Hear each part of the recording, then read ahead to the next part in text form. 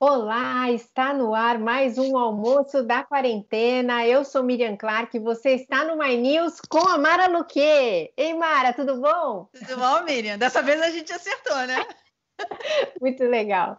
Ô, Mara, hoje nós temos muita coisa para falar, porque nós vamos ter o ex-ministro da Educação, Cristóvão Buarque, é, que foi também do Senado Federal por 16 anos. Eu estou muito curiosa para saber o que, que ele vai falar de todo esse drama em relação ao MEC que a gente está vivendo, né?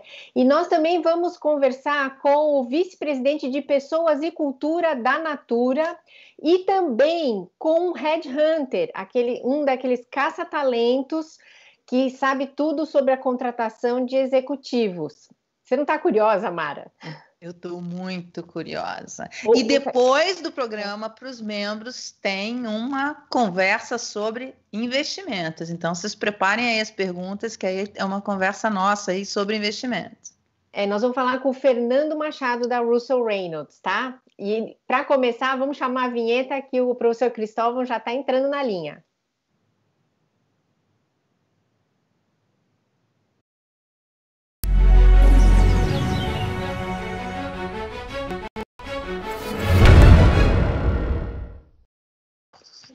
Então, aqui, né? Oi, professor Cristóvão, obrigada pela presença aqui no almoço da quarentena.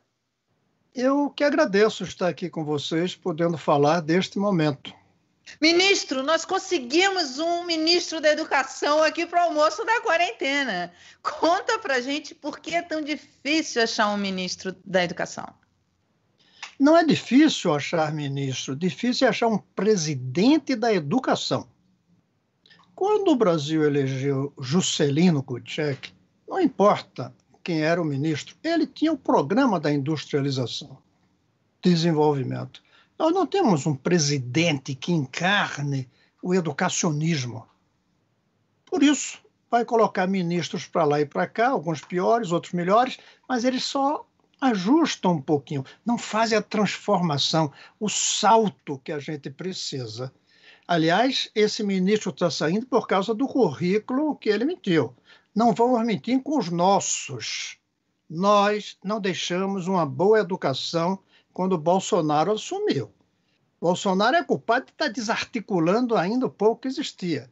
Mas a educação brasileira já estava muito ruim e ainda mais desigual do que ruim em 2019. Então, falta um presidente da educação. E eu creio que vai demorar muito, porque a cabeça nossa, dos brasileiros, não põe ainda educação como sendo o eixo central do progresso. Ou Basta seja... dizer que... não, pode terminar, ministro. Basta dizer que a Constituição diz que educação é um direito, não diz que a educação é o vetor do progresso. Se é um direito, quando uma criança sai da escola antes do tempo, a gente aceita, foi um direito que não quis usar. Não, quando uma criança sai de uma escola, quando a escola não é de qualidade, é o Brasil que está perdendo. Ainda não temos essa consciência no país da importância da educação. Ou seja, ministro, o problema da educação no Brasil não é uma exclusividade deste governo. Ele já ah. vem é, de governos anteriores. É, eu posso ah, complementar a pergunta da Mara, professor? É, o senhor já foi reitor da UNB, governador, ministro da Educação. É, o que, que acontece? Por que, que o Brasil não consegue ter um projeto de educação né, de, de longo prazo? Até o senhor é autor de um livro que chama Por que Falhamos? Né? Eu queria que o senhor tentasse analisar tudo isso para nós. Não é a primeira vez também que um político mente no currículo, né? É, mas além da mentira dele individual, e muitos devem ter feito isso, tem uma mentira social. Nós criamos uma narrativa que nós deixamos uma educação boa. Alguns dizem isso e que o Bolsonaro está acabando. O Bolsonaro não tem nem competência para acabar. Ele está prejudicando porque ele, em vez de dizer é preciso ter escola, ele disse é preciso tirar o marxismo das escolas. Não se ensina nem marxismo nem nada. Nós temos fake schools, fake escolas, falsas escolas, uma, salvo, claro, de uma minoria que consegue escola boa, ou porque paga, ou porque consegue uma escola federal, pública, que são boas. Mas voltando à sua pergunta, Primeiro, porque a mente brasileira não põe conhecimento, educação, como um produto que se orgulhe. Eu até cito muito. Todo ano nós olhamos, nós brasileiros, para Zurique, quem vai ganhar a bola de ouro. A gente não está nem aí para quem vai ganhar o prêmio Nobel em Estocolmo. Não faz parte dos objetos de consumo uma boa educação. E não percebemos ainda que o vetor do progresso hoje é o conhecimento. Conhecimento, ciência, tecnologia que vem da educação. Então, por que temos falhado em educação? Porque, politicamente, para ganhar voto, é melhor fazer estádios de futebol para a Copa do que escolas para educar as pessoas. E dentro da educação, e o governo, o presidente Lula entendeu isso como político, que é melhor gastar dinheiro na universidade do que na educação de base. E aí está falhando. Aumentou o número de estudantes na universidade, mas a qualidade está cada vez pior, porque não aumentamos o número dos que terminam o ensino médio e nem a qualidade do ensino médio, que precisa do ensino fundamental. O outro problema é que nós temos a mania de querer tudo rápido e educação exige uma estratégia de 20 a 30 anos. E isso não dá voto. Eu defendi como ministro e tentei. Aliás, acho que eu caí por isso. Só, tinha um, só tem um jeito, a meu ver. Eu gostaria de ouvir outras ideias. Aliás, vocês poderiam fazer um debate. O uhum. que fazer? Tem duas coisas. Uma é Hoje, primeiro é recuperar depois da pandemia, que vai ser um desastre específico. O outro é como ir melhorando. Mas tem que ter outro. Qual é a estratégia para daqui a 20, 30 anos o Brasil ser tão bom quanto Coreia do Sul, Finlândia, e o filho do pobre estudar na mesma escola que o filho do rico? Que esse também é um sonho que não está na cabeça dos brasileiros.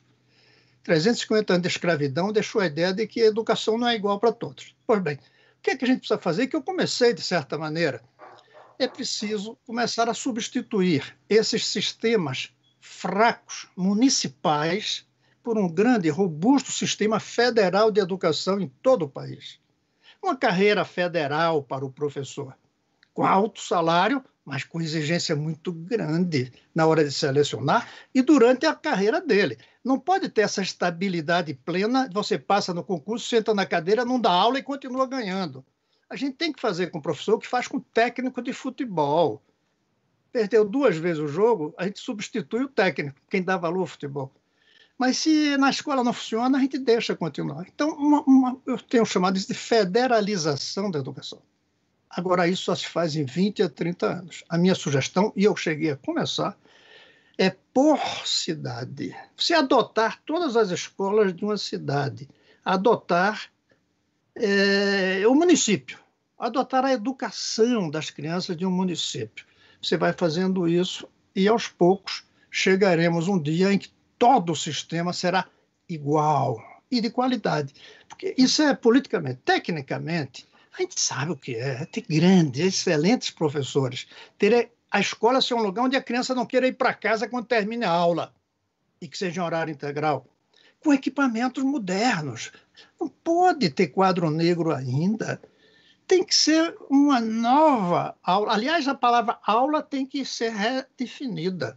O professor não é mais uma pessoa, é ele que sabe da história, é um que sabe como pegar o Google e outros aplicativos e colocar dentro da sala de aula, e um terceiro que sabe colocar isso na rede, para que o aluno possa ver em casa também. Então, sabe o que fazer, mas falta alguém eleito com a bandeira da educação um presidente educacionista. Aí o ministro não vai ser importante. Mas para isso precisa ter um eleitor que queira isso. E hoje a gente ainda não tem. Ministro, você já conhecia o, o ex-futuro ministro da Educação que acabou de sair? Quer dizer, eu, eu queria, se você pode fazer uma avaliação dele, independentemente das mentiras do currículo, é, pela história dele é, ele poderia acrescentar alguma coisa? Eu quero dizer o seguinte: eu não o conhecia, nunca tinha escutado falar. Mas para mim, isso no governo Bolsonaro é uma coisa boa. Eu tenho medo disso naqueles que a gente já ouviu falar, os discípulos dos gurus dele. Então, esse uhum. eu nunca tinha escutado falar. Além disso, era um homem professor, um homem da educação, E eu achei simpática a ideia de ser negro, nesse momento que a gente está querendo enfrentar o racismo. Eu o recebi com simpatia. E depois ele conversava, não saía com aquelas coisas do anterior. Então eu tive, não esperança por causa do presidente, mas a minha reação inicial foi muito simpática a ele. E eu fiquei muito desanimado, triste, até porque ele saiu pela mentira, não é pelo currículo. Ele não precisava Exatamente. ser doutor para ser ministro. Exatamente. E isso é muito grave. Então, eu, eu lamento que ele tenha saído. Não conheço, não sei se seria um bom ministro ou não, acho difícil com o presidente que temos, mas, de qualquer maneira, era um avanço em relação ao anterior. Lamentavelmente, aconteceu isso. Você tocou num ponto é, que eu acho que é, é relevante para a sociedade brasileira pensar sobre isso. Quer dizer, ele não precisaria ter mentido. E é muito comum as pessoas mentirem no currículo. E as pessoas serem atacadas por ah porque não sei não fala bem o inglês ou porque não tem é, diploma a gente viu muito isso no, no governo Lula enfim é, muitos ataques em relação então se dá muita importância aos títulos e pouca importância aos, às realizações que efetivamente foram feitas. Exatamente, Mara. E é isso que o presidente Lula entendeu. Sabe o que, é que ele entendeu? Que a, a população queria o diploma universitário. Do jeito que as pessoas querem ter um carro na garagem, querem ter um diploma na parede. E ele deu. Ele foi um erro, eu, eu, eu acho um que foi um total. erro da, da, da política Vamos dele ver. educação. Um erro do ponto de vista educacional, um acerto do ponto de vista eleitoral. Uhum. Porque as pessoas não se preocupam se a educação de base é boa ou ruim. As pessoas querem ter a universidade e querem um diploma, não o conhecimento. Quer ver um exemplo disso? O Enem foi criado para avaliar a educação, o ensino médio. Quem dava importância ao Enem? Ninguém.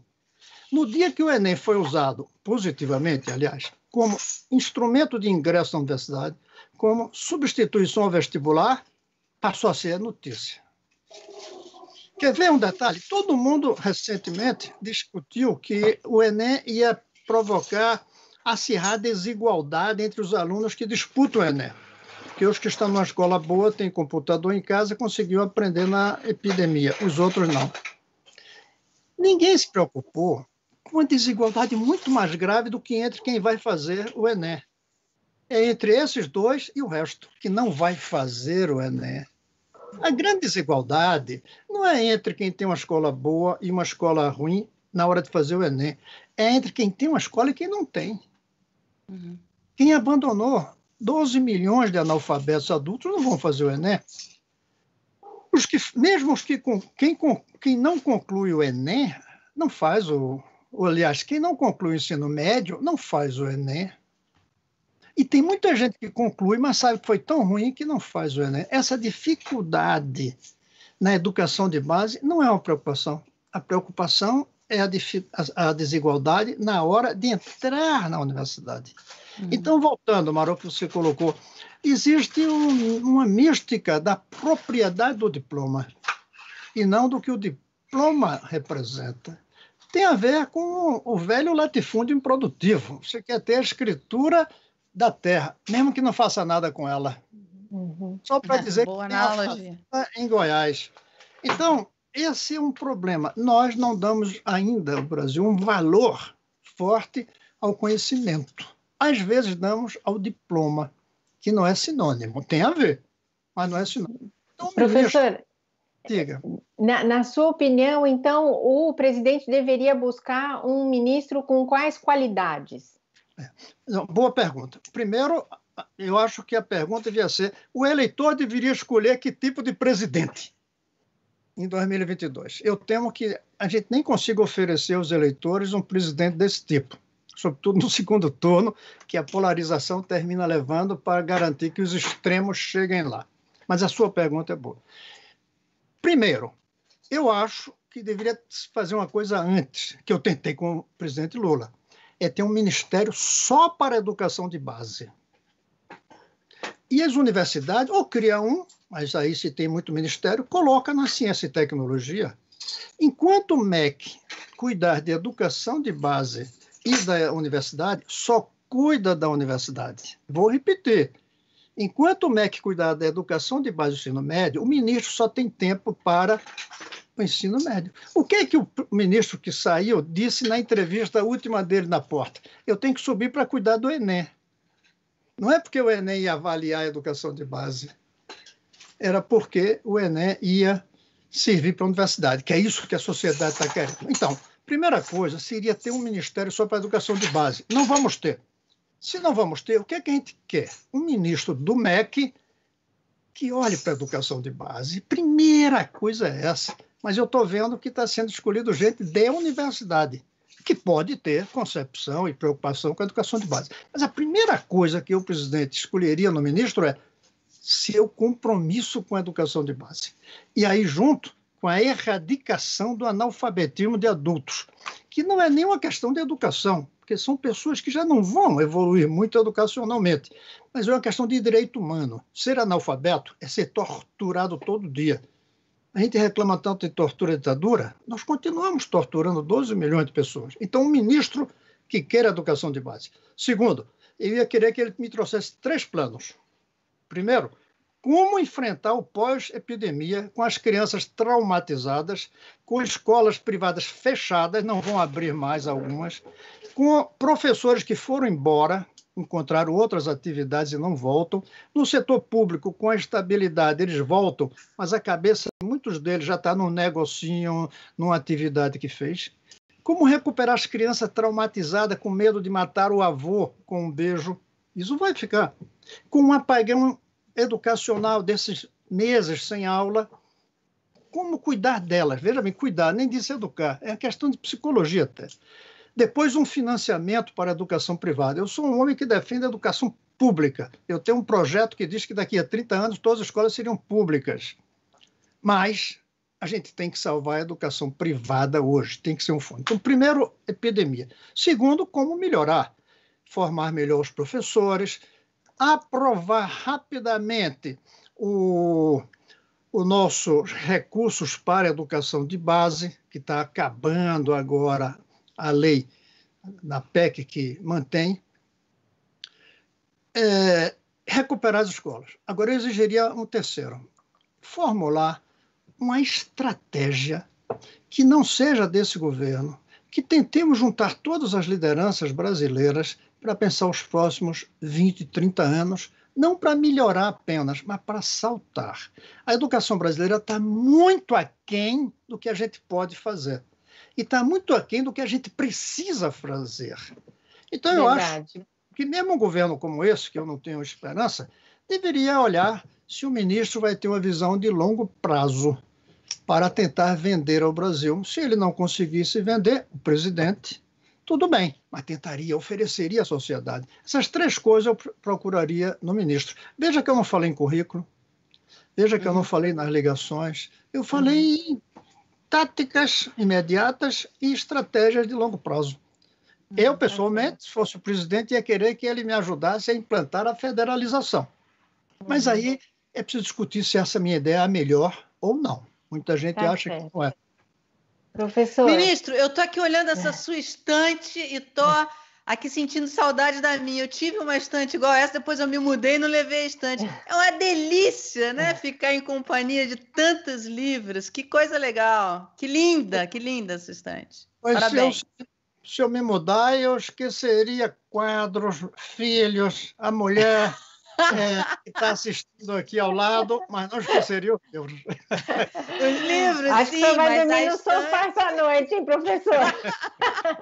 Mas com os livros juntos. Ah, tá bom. É isso aí. Mara, nós temos que encerrar essa conversa está tão gostosa. Uma pena mesmo. Professor, muito obrigada por ter participado aqui. Volte outras vezes, por favor. Muito obrigado a vocês pela oportunidade. Um grande abraço para cada uma e para todos que estão nos assistindo. Obrigada, professor. É isso aí, Mara. Linda a estante dele, né? Sim, muito legal. Eu tive uma estante dessa, é muito bonita, é muito bonita. E hoje, hoje a gente carrega tudo no, no tablet, os livros todos no tablet, né?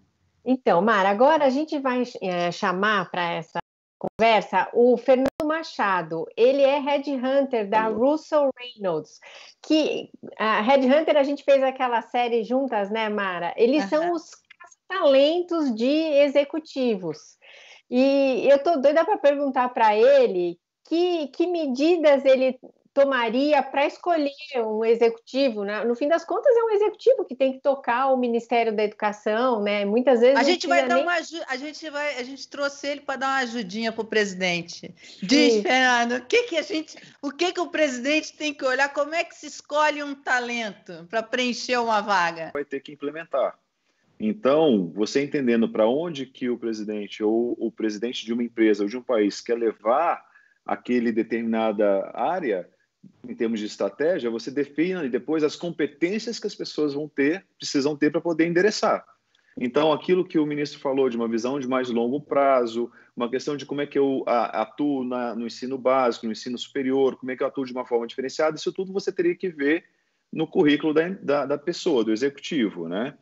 E esse, esse é um primeiro aspecto. E você tem aspectos técnicos, que são exatamente essas competências, o que, que ele fez, o que, que ele entregou, o que, que efetivamente aquela, aquele, aquele executivo, aquela executiva, ela trouxe de resultado para aquela pra, durante a carreira dela, ao longo da carreira dela, e aquilo que você consegue avaliar também a parte comportamental, que é qual é o potencial que aquela pessoa tem sentando na cadeira. Então, a gente faz essas duas avaliações em termos do currículo e do, da trajetória e baseado nisso, a gente consegue avaliar também qual é o potencial que ela tem dado toda a parte de contexto e é, como eu falei, a estratégia que o executivo principal tem para aquela cadeira. E, evidentemente, a gente tem que olhar os aspectos acadêmicos, os aspectos é, técnicos para todos esses executivos. É, a gente fez essa, essa série que a Miriam falou, inclusive falamos com vocês. É, tá aqui no canal. Está aqui no uhum. canal, quem quiser ver, mostrando que o mercado para executivos C-level, 50 mais, quer dizer, 45, 50 mais, estava aquecido mesmo durante a pandemia, procurando gente para. Depois a gente vai falar mais sobre isso aqui, inclusive. E, e eu lembro que numa das entrevistas, a, na entrevista com a Tatiana, ela fala assim: isso. não minta no currículo, não minta no currículo. Não. Principalmente. Ela, primeiro, ela falou: não minta porque a gente vai descobrir. Segundo, ela falou: nessa fase, a gente não está muito preocupado por onde, onde você estudou, a gente está preocupado com o que você fez, porque os 50 anos que você tem que mostrar para a gente é o que você fez. É, e não, tudo bem, pode estar tá lá. Então, você assim, não precisa mentir onde você estudou, não estudou, que uhum. fez, que fala, não sei o quê. Porque o que o Red Hunter vai olhar é o que ele fez, né? O que foi realizado. Ou seja, não precisa mentir no currículo, né? Ô, Fernando, não, mas eu queria saber, é, é, comum as pessoas mentirem, assim, até nesse nível de executivo? Eu tenho que ser, tem que ser bem objetivo. Comum não é, mas acontece. Tá? Hum. E, e eu concordo 100% com o que a minha, minha sócia Tatiana Freitas falou, né? aqui da Russell Reynolds também, que não há necessidade disso, eu acho que a principal questão é essa, não há necessidade, mas se acontecer, vai ser descoberto, porque a gente, enquanto headhunters, nós somos contratados pelos nossos clientes para poder ter certeza que aquilo que está colocado naquela, naquela, é, naquela experiência acadêmica é real, então a gente checa, a gente vai falar com as universidades para poder ver se aquela pessoa tem aquele título que ela colocou. Então, isso é efetivamente é, um, é uma função que a gente faz mas a gente é muito mais cobrado e quando nós somos contratados para que a gente possa, baseado na nossa experiência de ter falado com tantos executivos durante todos esses anos que a gente trabalha e avaliar efetivamente as entregas daquele executivo, daquela executiva, é, versus aquilo que é esperado dele ou dela na função. Então, primeiro, não minta, não tem necessidade. Segundo, independente de qualquer coisa, nós vamos avaliar, nós vamos é, averiguar se aquelas informações são corretas. E terceiro, acho que o mais importante é que essa trajetória de entregas que ela seja coerente com tudo aquilo que está sendo pedido pelos clientes naquela posição. Né? Fernando, vou pedir para você ir um tiquinho para a sua esquerda, só para a gente ficar os três centralizados claro. aqui. É, Fernando, me conta sobre os private equity. Estou me sentindo até chique em falar isso. Vamos lá. Os fundos de private equity são. Eu sou o responsável aqui na Russell no Brasil e faço parte também que, que atende as empresas, esses fundos de investimento que compram participações em empresas. Basicamente, eles viram sócios de empresários, sejam de empresas pequenas, médias ou grandes, e ajudam aquelas empresas a se desenvolverem tanto com dinheiro quanto com é, processos e pessoas, para que elas possam crescer mais rapidamente e depois serem vendidas, seja no mercado ou passarem para um outro tipo de, de transação. Então, eu trabalho com esses fundos, eles são muito importantes na nossa economia. Então, o que está acontecendo? Né? Eles estão passando e eles têm uma atuação muito forte, tem empresas em todos os setores, e o que, que hoje, atualmente, está acontecendo? É, essas empresas passando por várias dificuldades por causa da pandemia, evidentemente, e eles tendo, é, os fundos e os seus gestores tendo que rever esses investimentos, para poder ver, por exemplo, uma empresa de varejo que naquela que antes da pandemia não atendia o canal e-commerce, não vendia através do e-commerce, ela teve que rapidamente trazer competências para poder começar a vender através do e-commerce.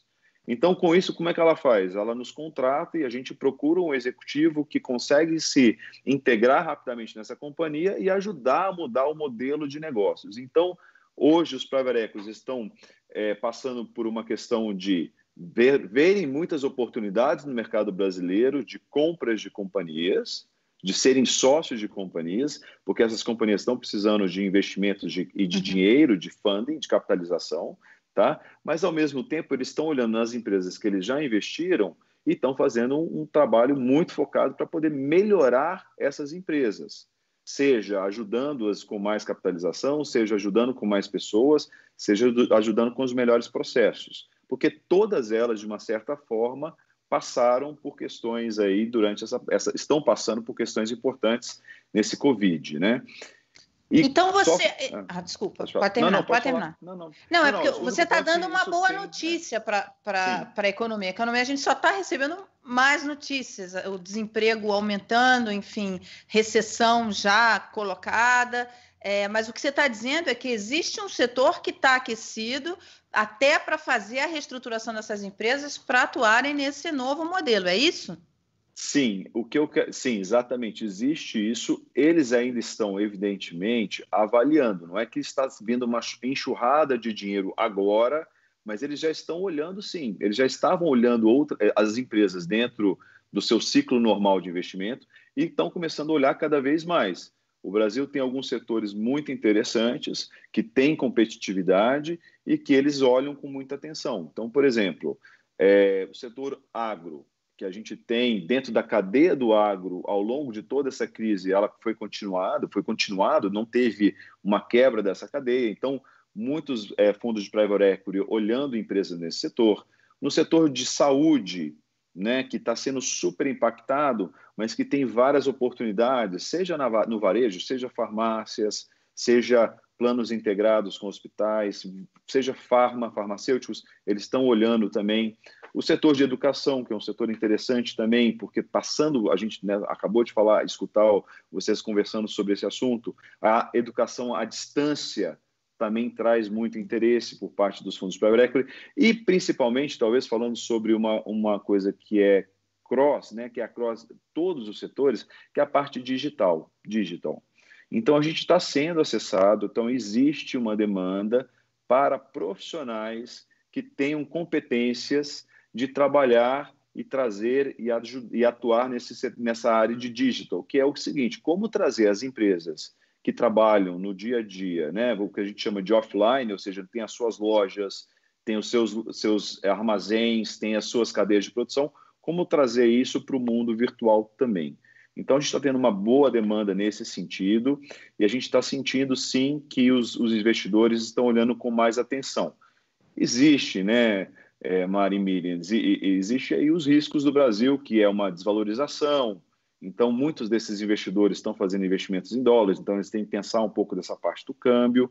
Existe essa volatilidade que a gente vê muito grande na bolsa de valores, que querendo ou não, isso é um parâmetro para empresas que ainda não são abertas, mas é um parâmetro de preço. Então, quando a gente passa de 115 mil para 90 mil pontos na bolsa, isso impacta é, o ímpeto do investidor em fazer novos negócios.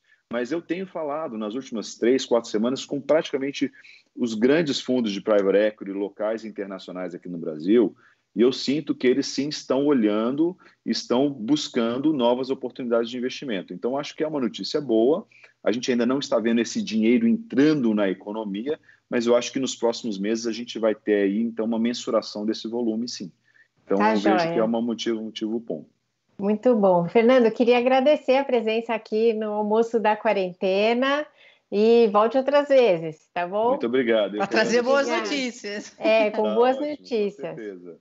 Muito obrigado. Ô, Mara, obrigada, Fernando. Mara, e a gente estava falando sobre home office, né? Que é o assunto que envolve um pouco o nosso próximo convidado. Tem muita gente que diz que não está vivendo no home office, está vivendo no caos office, porque tem que dar conta do trabalho mesmo estando com as crianças, com as demandas da casa, tendo que administrar. Às vezes tem gente que fica doente na família é muito complicado, né? Mas algumas empresas têm conseguido fazer uma. É, tomar algumas medidas que vão melhorar a vida desse funcionário.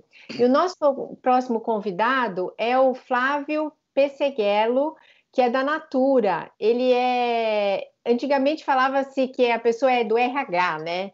Mas ele é o vice-presidente de Pessoas e Cultura da Natura. Flávio, você já está aqui com a gente? Olá, boa tarde, me escutam bem? Flávia Miriam acertou o seu sobrenome? Porque ela estava treinando. Acertou, Pessiguelo. Então tá ótimo. Tá ótimo. Flávio Pessiguelo. Não, estou aqui. Boa tarde, gente. Obrigado pelo convite. Prazer estar aqui com vocês, viu? Obrigada a é você. Nossa, Flávio. E aí, conta, Flávio, o que, que vocês fizeram de bom para os seus funcionários? Olha só, né? A gente, logo quando começou, né? Eu lembro bem naquela semana, começo de março, é, que a gente estava começando a lidar com tudo isso. E a primeira, a gente estabeleceu duas prioridades. Né? A primeira foi como a gente barra o contágio, ajuda a barrar o contágio cuida da nossa gente, cuida da nossa, da nossa rede. Né? E aí foi curioso porque assim, a gente já tem trabalhos, já estava acostumado a fazer o trabalho remoto, né, como a gente chama, mas esta é uma situação muito diferente, né, porque a gente está com os filhos em casa, férias não é, não é, é uma situação normal, né, cotidiana. Então a gente foi entender né, o que, que a gente poderia fazer. Como uma das primeiras decisões que nós tomamos foi colocar todos os colaboradores em trabalho remoto, né, a gente foi tentar entender como que a gente podia melhorar essa experiência. Então fizemos uma série de, de perguntas, de, de, entrevistas, de questionamentos, etc., para poder como melhorar essa, essa experiência à distância. E aí chegamos a três grandes pilares, Mara. Assim, o primeiro era ligado à produtividade. Então, nesse capítulo, a gente fez algumas coisas. Por exemplo, ferramentas de trabalho. Às vezes a pessoa estava acostumada a trabalhar com um desktop na, no escritório. Fala, vamos dar um, um notebook para ele poder levar e poder trabalhar mais tranquilamente da sua casa. E chegamos a emprestar é, kits de ergonomias, né? então, assim, cadeiras, é, mouses, próprias estações de trabalho para que a pessoa pudesse trabalhar de, de maneira mais é, confortável, né? Porque muito tempo sentado, muito tempo, às vezes as pessoas não tinham isso preparado nas suas casas, né? Então a gente, pra você ter um número, a gente fez mais de 800, 900 doações de cadeiras, empréstimos, né? De cadeiras, etc. para todos. Que legal isso. É, é bem, bem interessante. É, um outro capítulo que a gente trabalhou bem também foi a, é, ligado a respeito aos horários. Né? Então a gente percebeu pela demanda, né? Estamos vivendo uma situação, como eu disse, inédita, né? Atípica. Então os horários, muitas reuniões, né, comitês de crise. Então, isso começou realmente a sobrecarregar muito. E a gente foi fazendo um trabalho muito forte de educação, de campanha, com algumas regrinhas de ouro, né, de preservar horários de almoço, de horários para começar, porque, como eu disse, a gente está vivendo situações atípicas. Então, você tem que cozinhar, você tem que cuidar do seu filho, né? Então, como que você equaciona tudo isso? Então, a gente tentou dentro desta rotina cotidiana também ajudar nesta, nesta jornada, né? Então tem uma série de ações nesse sentido. E Dá umas fim, né? pistas né? para gente, quais de, dessas regrinhas para gente. Eu estou precisando disso, porque Olha... os horários estão assim, ó, completamente embaralhados. É uma jornada, né? O que a gente pediu, né? Obviamente tem exceções, porque a gente está trabalhando em, em, realidades muito diferentes. Na América Latina tem fuso horários diferentes, às vezes tem alguma, alguma exceção. Mas o que a gente fala é o seguinte: não começa, não marca uma reunião formal antes das 9 horas, por exemplo. Né? Putz, às vezes as pessoas têm que. Viu, cuidar, Bia? Cuidar. Viu, é. Bia? Sem reunião antes das 9. Viu, Miriam? Miriam me acorda cedíssimo para trabalhar. É, Olha só. É, bom, controlar. Depois Boa tem, essa. Depois? É, depois tentar fazer intervalos entre, entre. Se a reunião é muito longa, ter alguma pausa, né? Para você fazer, sei lá, cada uma hora e meia, duas horas de reunião, faz uma pausa, faz um respiro, faz um alongamento, né? É, de pelo menos 10, 15 minutos para você depois retomar garantir o horário do almoço, né? Porque nem sempre você está com o almoço pronto, você tem que ir lá preparar, né? Alguma coisa. Tem, como eu disse, tem pais, mães, filhos, muitas realidades distintas, né? Que você precisa estar tá se organizando. Então, preservar um pouco esse horário de almoço e não marcar reuniões depois das 18 horas. Pelo menos isso, né? Então, foi é. isso que a gente tentou fazer e, como eu disse, é uma jornada, isso é um processo educativo, né? Que não dá para fazer do dia para a noite, mas que a gente tem tentado muito preservar para tornar a experiência um pouco melhor. Ô, Flávio, é... posso pedir para você ir um tique só para sua direita, para a gente ficar os três bem aqui na tela. Isso. Melhorou?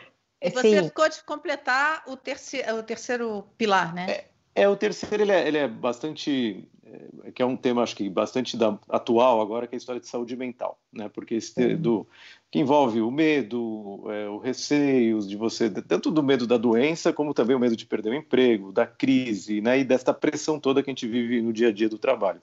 Então, uma das coisas que a gente tem trabalhado muito é como a gente passa por isso de uma maneira mais adequada. Né? Então, tem uma, aí tem uma lista, não vou aqui, depois eu posso compartilhar, mas assim, desde é, sessões de yoga, por exemplo, todo, todo dia a gente tem sessões online né, de yoga para você entrar e fazer lá o, um momento de, de, você com você mesmo, né, para você estar tá melhor. Então, momentos de ginástica laboral, né, Quer dizer que vocês um fazem sessão de yoga para os funcionários, é isso? O cara é. trabalha é. para você, está em home office, aí, aí agora a empresa quer que eu faça yoga, vou lá fazer yoga.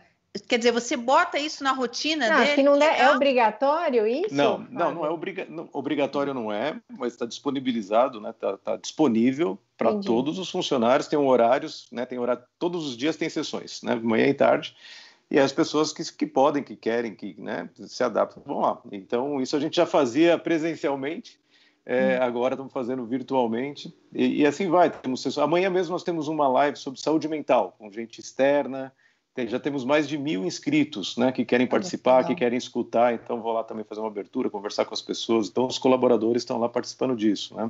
Fizemos é, parcerias com algumas plataformas é, externas, né, que também nos ajudam neste processo. É, e muita, muito telemedicina, que era um tema muito importante, né? Porque com a história do, do contágio, as pessoas muito preocupadas, então criamos parcerias né, no Brasil inteiro para a telemedicina. Então, são, bom, no Dia das Mães a gente fez uma coisa muito bacana, né, que a gente deu, além dos presentes, né, presentear as colaboradoras que são mães, mas também as mães de todos os colaboradores. Né? Então a gente fez, é. mandou um presente, né, um kit da Natura, é, ou da Avon, dependendo da colaboradora, para os colaboradores, para que eles pudessem né, poder viver essa experiência e demos um dia um dia livre, um dia de cuidado para aquelas mães, para elas poderem tirar um dia, para elas poderem se cuidarem, quando ela achasse que pudesse encaixar na rotina dela, para ela poder ter um dia com ela mesma, com a família. Então, são esses tipos de exemplos, né? Tem um, uma série de outros, mas para a gente poder tentar fazer com que esta jornada seja um pouquinho mais, é, menos pesada, né? Para todo você, mundo, já que... E vocês conseguem observar retorno em produtividade, enfim, você, é, há um ganho de produtividade? Olha, a gente tem uma crença, né? Eu, eu, pelo menos sempre acreditei que acho que se os colaboradores estão engajados, né, felizes em fazer parte, estão conectados com, né, com, com, o propósito dele, com aquilo que a gente está querendo construir juntos, né, e estão tão bem, isso é, é, quase que uma consequência natural, né? A gente mede, é, obviamente, alguns tem alguns, alguns indicadores de produtividade, mas a gente mede muito mais engajamento, né? Acho que são uhum. indicadores de, uhum. de engajamento, de, de, quantas pessoas realmente estão ali. E a gente tem uma série de fatores e critérios que a gente vai medindo, né? E a gente percebe que esse, esse fator vem crescendo ano a ano, né? Realmente é um, é um desafio importante ter esses colaboradores conectados, né? Com o nosso propósito, com as nossas causas, com aquilo que a gente acredita. É, você sabe que essa... Desculpa, Miriam. Não, pode, pode falar. falar.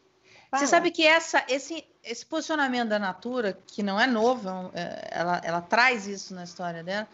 Eu, uma vez conversando com uma fonte da OCDE, e um francês me contou que o filho dele é escola na França, estuda lá em Paris. No, no, no livro do filho dele tinha um case da Natura, na França é, ali é o, o, reinado dos cosméticos e tal, e um e tinha o case da Natura falando do compromisso da Natura com sustentabilidade. Quer dizer, é, essa postura cultural ela, ela acaba sendo reconhecida é, além da, da, das fronteiras, né? ainda mais agora que vocês são globais. É, isso é um. A gente tem muito, muito orgulho, né? E muito. Eu estava escutando agora o Fernando falando sobre cultura, sobre comportamentos, né? Sobre que executivos, né? Então a gente tenta sempre ter na nossa rede, no nosso grupo, pessoas que valorizam isso, que tenham isso como uma causa, como um valor, né? Para a gente poder realmente criar soluções, alternativas, que o nosso compromisso é gerar impacto positivo, a gente diz, né? Seja ambiental, mas também social, né? Então, acho que isso conecta muita gente que está lá trabalhando e agora com a Avon, isso amplia muito, né, né dentro desse processo de, de integração que a gente está vivendo, porque a Avon também tem né, um trabalho em rede com muitas consultoras, trabalho contra a violência doméstica, é um tema que nós não tratamos aqui, mas a gente viu que nessa pandemia aumentou muito, então a gente fez muito trabalho né, interno, tanto com os colaboradores, mas externos de campanha também contra a violência doméstica, que é uma causa da Avon. Né? Então, tudo isso faz parte um pouco dessa jornada que a gente está vivendo. Né? Então... Ô Flávio, e eu queria te perguntar, é, você cuida também, não só do Brasil, mas da América Latina, né? A Natura tem loja em Nova York, em Paris, comprou a Avon. Quer dizer, é, é um, muita gente que você está cuidando né, nessa pandemia. Sim. Você sente uma diferença? Como é que está sendo a quarentena nos outros países? Como é que você também se coordena aí para estar tá ligado em tantos fusos, né? Pois é, né? E, e, nós estamos vivendo situações muito diferentes né, em muitos países, né? Então a gente está é, eu sou responsável pela América Latina, mas nós temos operações é, no mundo, né? Então a gente tem aprendido, por exemplo, quem já passou, que está um pouquinho na nossa frente, não? O que está sendo feito, como que a gente aprende com experiências que já já já já estão lá e que a gente pode de alguma maneira aprender com isso. E ao mesmo tempo aqui na América Latina, infelizmente, a gente ainda está numa situação mais delicada, né? E alguns países como Argentina, o próprio Peru, né? Tem países muito, muito em lockdown mesmo, em situações mais complexas e que a gente tem que lidar é, desde o ponto de vista de negócio, que é muito delicado, mas também do ponto de vista de cuidado, né? Com os colaboradores e com, e com as consultoras e representantes, né? A gente tem na região aqui quase 4 milhões de consultoras e representantes conectadas na rede. Então a gente está muito atento como que a gente mantém também a economia circulando, gerando renda, gerando prosperidade para toda esta gente, né? Então é um é um desafio e tanto, né? Mas eu estou muito orgulhoso de fazer parte dessa jornada. Eu acho que tem muita. A gente, o que eu falo muito é assim: o que, que a gente não quer. O que, que a gente não quer perder dessa quarentena, né? Qual o real aprendizado? O que, que foi bom, né? O que, que a gente está trazendo de bom para isso e que a gente pode levar é, para frente, né? De ressignificar o trabalho, de onde ele é feito, como ele é feito, né? Eu acho que isso é um, um tema interessante para a gente debater também, para a gente pensar. Natura e Avon sempre tiveram um papel é, na composição de renda de muitas famílias. Exatamente. Hoje, dada essa, esse drama do, do, mercado de trabalho que estamos vivendo, enfim, as manchetes hoje no jornal, nos jornais, enfim, no noticiário mostram que a gente hoje tem mais gente desempregada do que gente empregada. Você acha que esse mercado ele pode contribuir para de certa forma ajudar a a, suavizar, né? não sei nem qual o termo que a gente usa, mas enfim, é, pode ajudar de alguma forma a, a absorver essa, esse trabalhador que está hoje, enfim, procurando alguma renda? Ah, eu, eu, eu tenho essa crença, viu? É, eu acho que desde sempre, né? A venda direta, quando, como a gente chamava antigamente, né? Hoje a gente chama de, na natureza a gente chamou de venda por relações. Mas esta, este jeito de fazer negócio, né, ainda mais agora nesse momento, tem se mostrado uma alternativa muito segura, muito importante.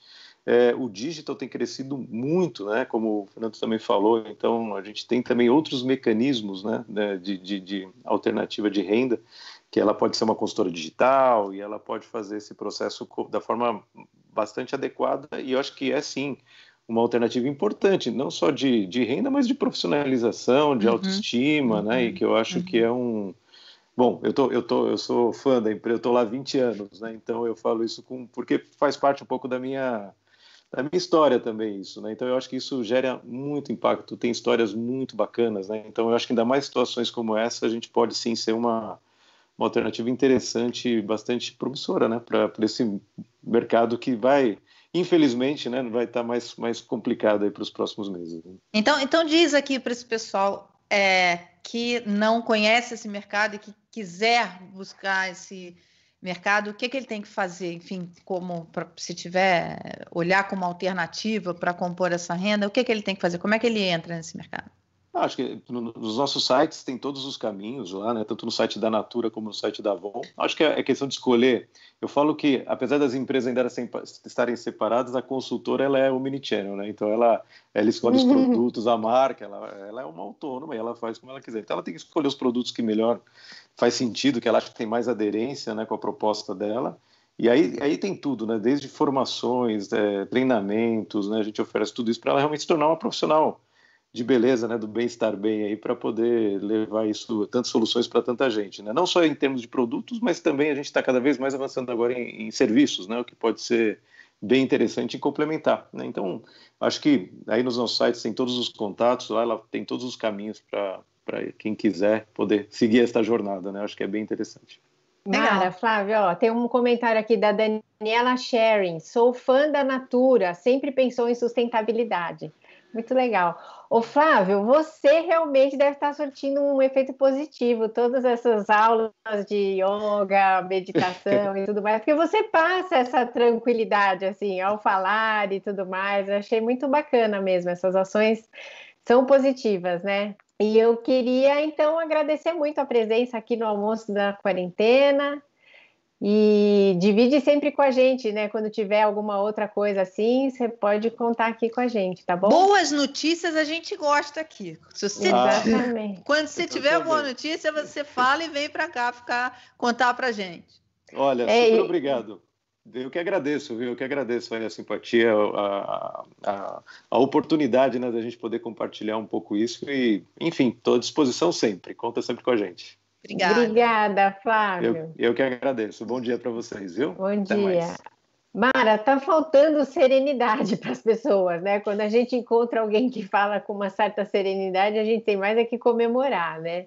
E agora eu queria chamar o Dr. Luiz Fernando Correia. Ele está lá em Miami, é, morando lá nos Estados Unidos, passando essa quarentena lá, e vai conversar aqui com a gente sobre essa quarentena ioiô que nós estamos vivendo, né, Mara? Porque é um tal de abre clube, depois fecha clube, abre igreja, fecha. Já estamos aqui com o doutor Luiz Fernando? O Luiz Fernando, ele é bom de batizar, né? Clorocoisa, jornada, é, quarentena ioiô.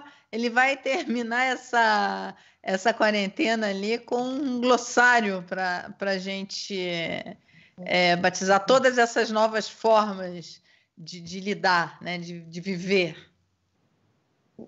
Luiz, obrigada. Oi, tudo bom? Tudo bom, Miriam? Tudo bem, Mara? É, a gente tem que inventar nome engraçado porque tá difícil, né? Tem que tentar rir um pouquinho, porque a coisa tá feia, viu? É, essa situação é a situação é, é mais uma, mais uma das coisas do chamado novo normal. Até que a gente tenha vacina e essa vacina possa ser não só eficiente, mas distribuída de maneira igualitária, ou seja, que o mundo inteiro tenha vacina, a gente vai viver com essa realidade de regiões, cidades, ou até mesmo é, grandes regiões como estados terem que restringir movimentos, fazer coisas até mais radicais, como lockdown mesmo, temporário, porque o número de casos vai subir, o número de mortes vai subir, e principalmente, né, como a gente sempre fala, a grande questionamento, o grande questionamento é o sistema de saúde ser capaz de atender a todo mundo.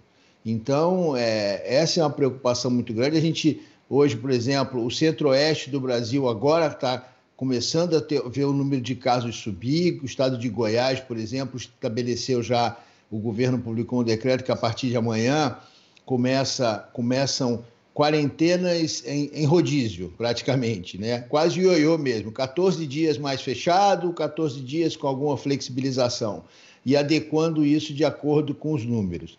O problema é que, primeiro, é, essas coisas estão sendo feitas de maneira descoordenada, né? ou seja, não existe uma coordenação geral. Eu entendo que isso tem que ser feito é, por regiões e, com, e, e dessa maneira. Porém, a falta, mais uma vez, né, a falta de uma mensagem única para orientar a população vai fazer a gente pagar um preço muito alto porque é o governador, por exemplo, Goiás, o governador anuncia esse decreto, o prefeito de Caldas Novas diz que não vai seguir todos os itens do decreto, porque, afinal de contas, a autoridade local é dele. Tudo bem que, de repente, adequações e adaptações sejam feitas, mas o que não pode é ter essa coisa, né? Eu falo, o outro diz outra coisa. Isso vai, isso, isso está tá literalmente matando brasileiros, porque é, é, as pessoas não vão conseguir entender o que, que tem que ser feito. Porque... Luiz Fernando, mesmo a gente que trabalha com notícia, que está acompanhando, que está falando com fontes confiáveis e tal, você fica, às vezes, você fica assim, meu Deus, mas o que, que eu faço? Posso fazer? Não posso fazer? Sabe? Porque você acaba vendo é, essa falta de, uma, de, um, de um centro único ali para dar informação, realmente causa muita confusão, né? É, infelizmente, Mara, é, se a gente tivesse feito uma, uma coisa, por exemplo, vamos definir um comitê científico nacional. A gente tem mais do que é, é, uma quantidade de mentes e, e, e saberes para fazer isso. Vamos definir um comitê nacional que respeite e receba informação de todos os lugares para servir de coordenação. E a partir daí sair, olha, a orientação para a região Nordeste é essa, a orientação para a região Centro-Oeste é essa, mas se sair de um mesmo lugar sempre a informação, o público vai saber onde buscar essa informação. O problema é que, tudo bem, o, o, o, o reitor da Universidade Federal de Goiás, o coordenador da pesquisa é, é, é Picode Info, tá, dá, essa, dá a informação, aí o governador faz a tradução dessa, da informação, aí vem o prefeito faz outra. Aí a coisa se perde, né? e o presidente enquanto... dizendo que não tem problema nenhum, né? Esse, isso aí a gente já, esse já esquece porque, enfim. Luiz, mas no, no momento da nossa curva de casos, é, o melhor é ficar em casa, né? Quem puder ficar em casa. Com certeza, é isso. independente da região do Brasil, não temos nenhuma região no Brasil que a, que a situação esteja completamente tranquila. Ela está melhor em algumas cidades, por exemplo, uma coisa que chama atenção. No Rio de Janeiro, toda hora você vê agora, você está vendo as, as, emergências mais vazias, os hospitais. Ótimo! Isso é sinal que dá para todo mundo ir para a rua? Não. É, nós ainda vivemos uma situação, e essa situação vai se vai perdurar, gente. É chato falar isso. Mas olha só, o que a gente vai precisar fazer é restringir as atividades, as saídas de casa para as atividades realmente importantes. A gente vai ter que passar a viver administrando o risco, de todos nós. Então, dizer, olha, eu preciso sair. Eu, eu falo exemplo, eu tenho falado exemplo que eu falei com um amigo meu no Rio de Janeiro, falou assim, poxa, dia eu briguei com, com, com, com, um primo meu, porque abriu o shopping e ele foi tomar um cafezinho no shopping. Eu falei, aí esse cara, esse meu amigo perguntou, mas por que, que você foi tomar? Não, porque abriu o shopping. Gente, não é porque abriu o shopping, tem que ir lá tomar um cafezinho. Toma um cafezinho em casa.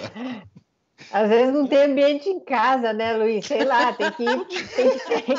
É pela sanidade mental. Quebrou, né? Quebrou a Nespresso dele, não sei, né? Enfim, tudo pode acontecer, mas, poxa, é, é, eu estou brincando, mas vai ter que ser assim, gente. E uma coisa que, que é uma coisa que é importante. A gente vai começar uma, a encaminhar para uma fase em que você, até por essa angústia mesmo que você traduziu, a gente está todo mundo no limite, beleza. Então vamos seguir, vamos tentar identificar é, bolhas de segurança parecidas com a minha, né? Pessoas com o mesmo comportamento em relação ao risco, pessoas que é, têm o mesmo, mesmo nível de exposição ao risco, duas famílias que têm. Eventualmente, você pode fazer, pensar em alguma atividade, né? De encontrar esse, essa coisa. Embora, quando eu falo encontrar essa família, a gente não é para sair abraçando, não tá? Vai ter que usar máscara, vai ter que manter distanciamento social. Marca um piquenique, cada um mais ou menos perto do outro, mas nada de sair agarrando e abraçando que nem brasileiro gosta. Eu sei que está difícil, mas infelizmente a gente vai ter que se cuidar até a vacina chegar. Por enquanto é isso que temos, né, doutor Luiz? Então tá é. bom. Gente, eu vou ter que encerrar esse almoço, é, é muito hoje. legal, mas nós vamos ter que encerrar, que a Mara logo mais vai fazer uma live sobre investimento. Logo mais, não. Daqui a cinco minutos. É, não saia daí, fica com a gente. Luiz, obrigada pela presença, hein? Que isso, Obrigada, meninas, Luiz. obrigado para vocês e, gente, vamos nos cuidar. É isso que é o mais importante.